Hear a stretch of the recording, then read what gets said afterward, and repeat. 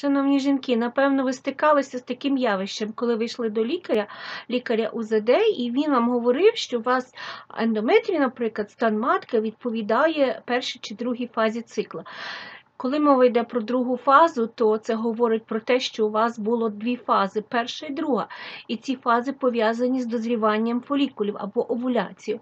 Але якщо вам виставляють ановуляторний цикл і кажуть, що у вас ановуляція, але при цьому у вас стан матки і ендометрій відповідає другій фазі циклу, то це говорить про те, що ваш лікар некомпетентний в питаннях менструального циклу, тому що при ановуляторному циклі немає ніяких фаз. Запам'ятайте, будь ласка, це.